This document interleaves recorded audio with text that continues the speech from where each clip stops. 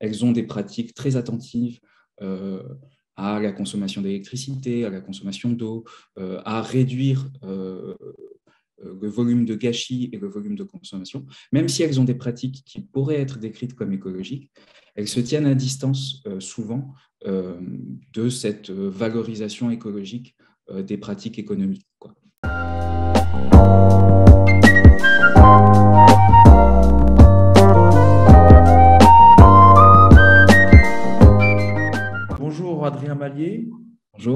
Sociologue euh, spécialiste des questions environnementales et tu as notamment travaillé dans les quartiers euh, populaires prioritaires de France euh, et d'Argentine.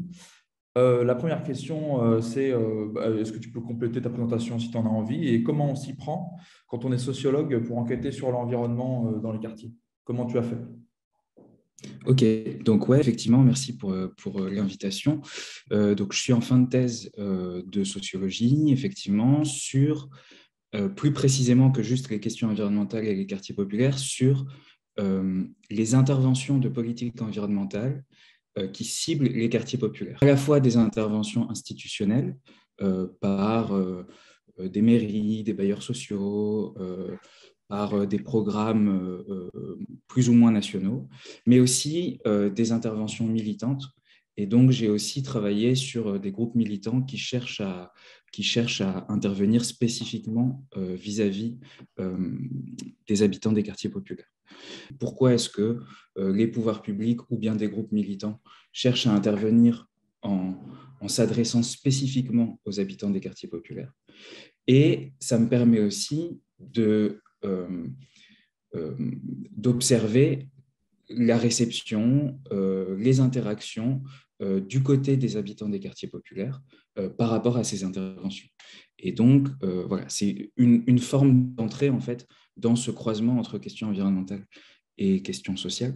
Par rapport à ces, euh, à ces enquêtes que tu as pu faire, par rapport aux institutions, aux associations et aux habitants que tu as pu rencontrer, est-ce qu'il y a des préoccupations environnementales propres que tu as remarquées Est-ce qu'il y, est qu'il y, a eu des questions, des sujets particuliers qui sont remontés, au niveau, ce soit au niveau institutionnel comme des associations? Est-ce qu'il y a les thèmes centraux que tu as vus? Ah, Effectivement. En fait, ce qui motive souvent euh, à la fois les institutions et les groupes militants que j'ai rencontrés, en tout cas, à intervenir spécifiquement vis-à-vis euh, des quartiers populaires. Donc, quand je dis quartiers populaires, c'est plutôt euh, des quartiers populaires urbains, soit en centre-ville, soit en banlieue de grandes villes. C'est souvent l'idée que les membres des classes populaires sont moins sensibles à l'écologie, sont moins intéressés euh, par les questions environnementales euh, et du coup auraient davantage besoin d'être sensibilisés.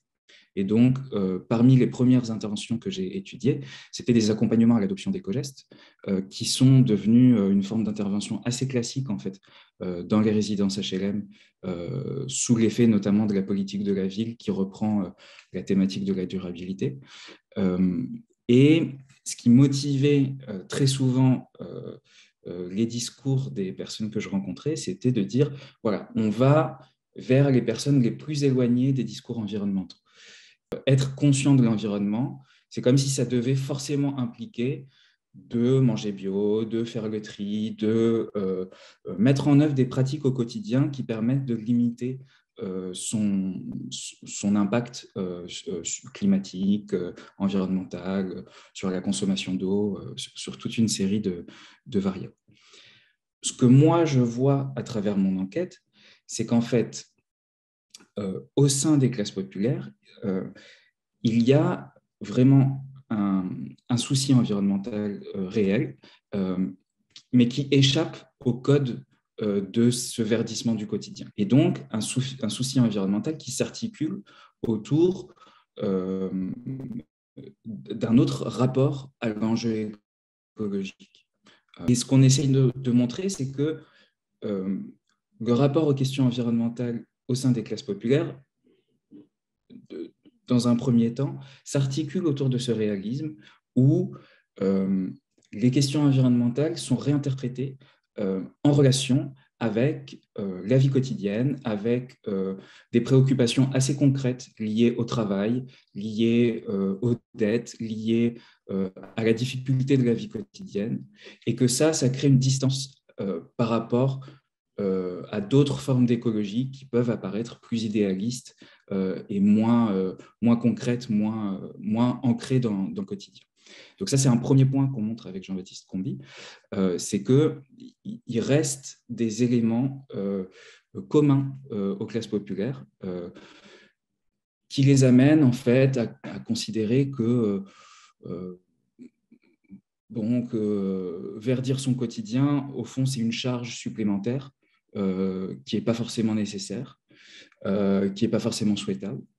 Euh, que euh, ce n'est pas forcément utile non plus, parce qu'il y a aussi une forme de modestie euh, et aussi en fait une certaine distance par rapport à, à, tout le prestige qui est associé à cette consommation écologique. C'est-à-dire que même si les personnes ont des pratiques qui objectivement peuvent être décrites comme écologiques, parce qu'elles prennent peu l'avion, elles, prennent peu la voiture, elles ont des pratiques très attentives à la consommation d'électricité, à la consommation d'eau, euh, à réduire euh, euh, le volume de gâchis et le volume de consommation, même si elles ont des pratiques qui pourraient être décrites comme écologiques, elles se tiennent à distance souvent de cette valorisation écologique des pratiques économiques.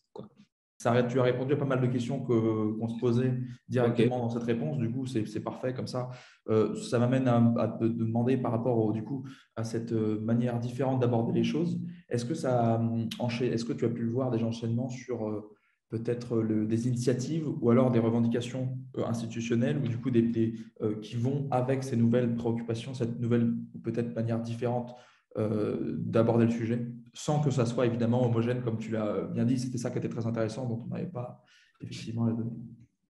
Effectivement. Alors, euh, donc moi, je me suis moins euh, centré sur la question des initiatives citoyennes, sur la question des initiatives d'écologie populaire. C'est un terme à la mode maintenant, un petit peu, cette idée d'écologie populaire. Personnellement, je suis un petit peu prudent par rapport à ça. Je pense qu'il faut prêter attention au fait que euh, dans ces initiatives, euh, c'est souvent des gens qui appartiennent à certaines fractions des classes populaires, en fait, euh, et donc ce n'est pas toutes les, fractions, toutes les classes populaires. Ce serait dans cette fraction un peu stabilisée à partir de capital culturel qu'il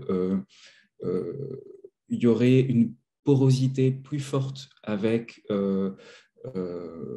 les, codes et les principes de l'écologie euh, plus institutionnelle ou plus de classe moyenne et supérieure. Euh, ce que j'ai observé, c'est euh, souvent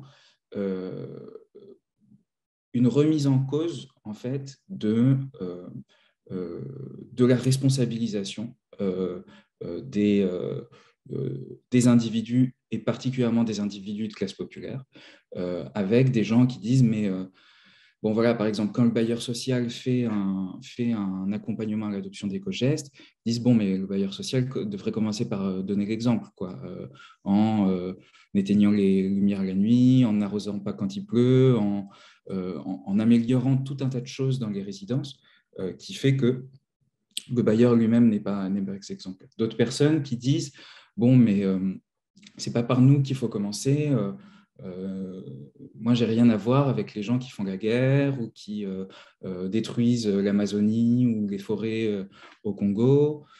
Et ça, c'est assez intéressant en fait d'un point de vue sociologique, c'est-à-dire c'est une certaine capacité à mettre à distance le discours responsabilisant, et à le remettre en question. Et donc, ça, c'est des formes de résistance. Euh, les classes populaires sont aussi celles qui sont le plus souvent euh, exposées aux dégradations environnementales.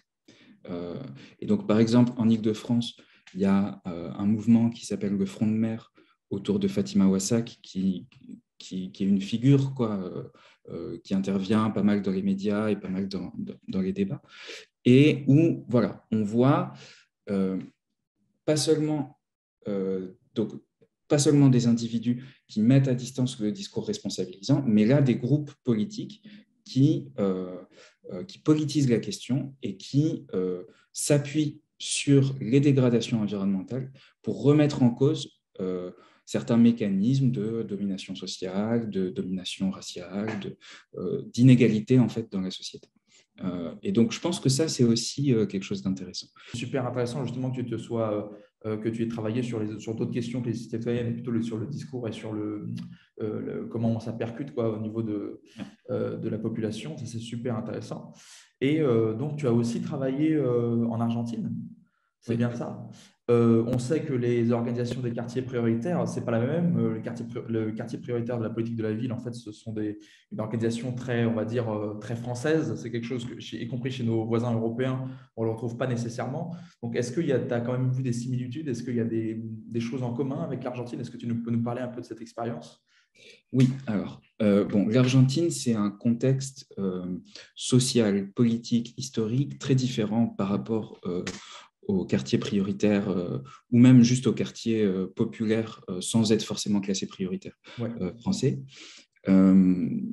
donc, moi, j'ai travaillé au sud de Buenos Aires sur des quartiers qui sont entre le quartier populaire et le bidonville, en fait, et où il existe une pollution, en fait, vraiment très prononcée, à la fois de l'air, de l'eau, et du sol.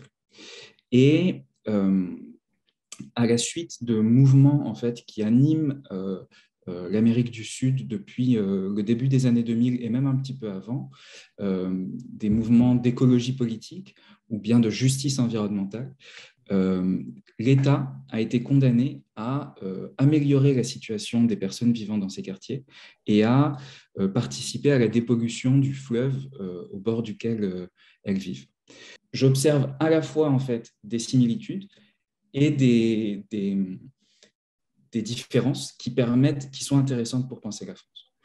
Du côté des similitudes, euh, dans une partie des institutions, il y a aussi l'idée que les classes populaires sont euh, moins sensibles à l'environnement. Et, que, et en fait, ça, ça s'inscrit dans euh, quelque chose de plus large de, de, la dynamique euh, de politisation de l'environnement, où l'environnement est apparu comme une prise de conscience.